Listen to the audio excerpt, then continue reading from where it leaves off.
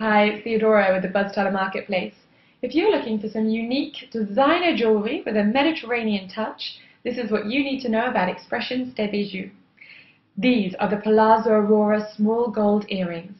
These earrings are a luxury limited edition gold design, designed and made by the Italian designer Maria de Toni.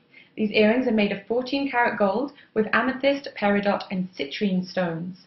Plus, you can take advantage of a limited promotion by clicking through now.